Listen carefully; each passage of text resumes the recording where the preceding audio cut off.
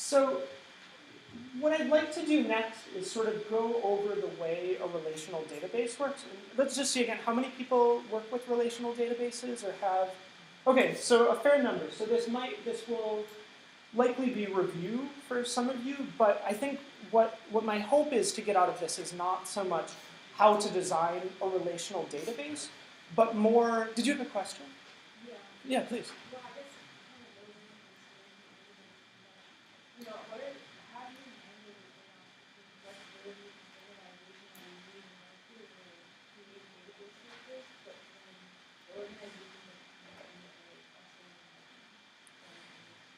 Yeah, so no, it's, it's definitely a trade-off and it, and it depends on the organization. But I think, and, and what I'm hoping that we'll get out of sort of reviewing how relational databases work is that a lot of the, the benefits and why relational databases are so powerful can be sort of written into even using an Excel spreadsheet. Like there are ways to sort of take, not necessarily a relational database itself, but some of the, the sort of positive things that relational databases do and, and model that in something easier, or not easier, but something you know, that an organization would be more likely to use like Excel or a Google Doc. Like there are ways with, um, with HLOOKUPs and V lookups to link multiple tables together in Excel. And so you can kind of, if not create a relational database, at least mirror some of the things that are beneficial about relational databases and make something that's, that's helpful for the, the organization. Does that kind of answer your question? Okay. And, and we, can, we can definitely interrupt me at, at any point and we can talk more about this. I want this to be sort of a, a, collaborative thing where we can, can think through some of these problems together because it's definitely, there's, there's no like right solution to this. These are, these are just sort of ideas that I think might be helpful in terms of, of trying to, to balance um, schematizing things and, and the flexibility of organization. So as soon as you start trying to organize data to put in Excel, a number of problems usually start to arise. So if we have a simple data or table like this, we have people and a type of pet they have.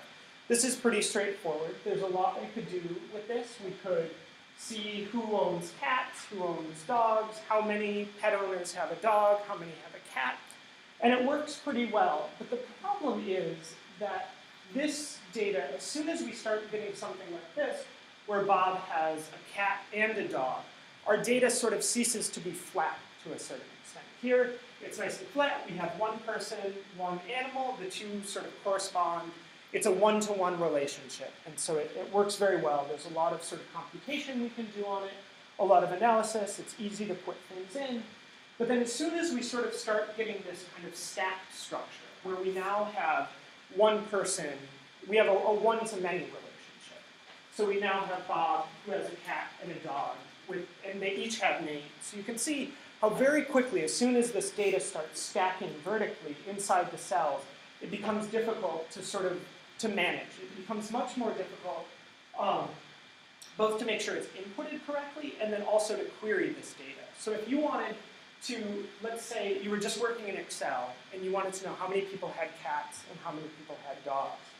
If you, in this one, if you sort on the pet field, you then get a nice thing where you have all of the cat owners in a block and all of the dog owners, and then it's very easy to count or to use a formula with like a, an if statement or a sum if or something like that.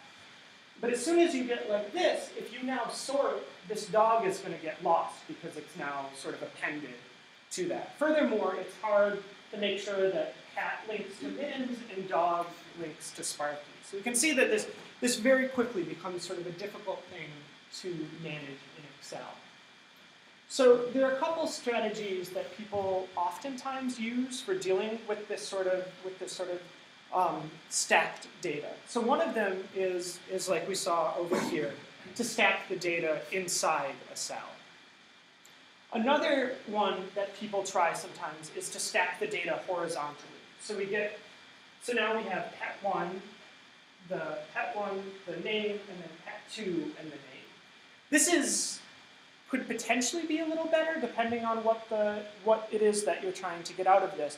But once again, it now becomes difficult to sort out all of the all of the dog owners. Um, we, it does make it a little bit easier to see which name goes with which pet, But it also, another problem with this sort of design is that it creates a, a maximum. So we could put, you know, we could put 10 of these in, and then say someone has 11 pets or 12.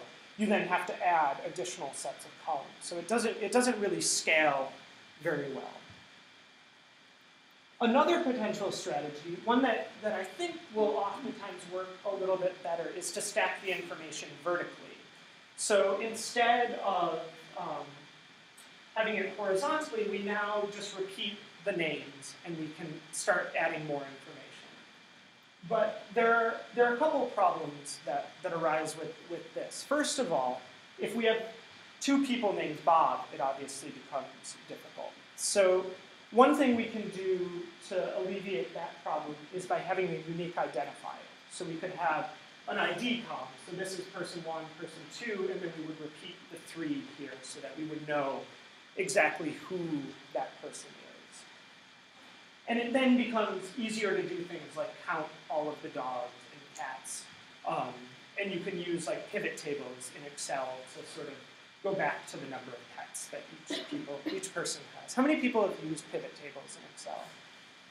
Yeah. Okay, great. Pivot tables are, are great. I really, as much as I don't like Excel, I do really like pivot tables. They're a really easy way to sort of take in data and aggregate it or disaggregate it. Um, it's, they're sort of designed for this kind of thing. If you want to know how many cats each person has, you can aggregate them using pivot tables.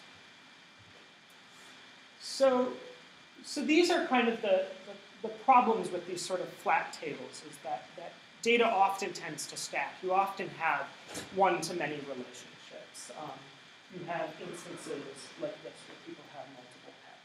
What I meant to mention, sorry, that, that another issue that this has is if we have additional information, like say we have the pet owner's address, we then have to change it in all of these. So if, if Bob, if we have, imagine there's an address column here, and Bob moves, you then have to make sure that every instance of Bob gets updated. And you could, you could do that by sorting by that ID column and then making sure it's all together and, and filling down or something like that. But it becomes easy to have, you know, um, to have Bob with two different addresses, and then when some poor SI student comes back to it three years later, they're trying to figure out which address is the right one, and the phone book may be the, the only sort of way to solve that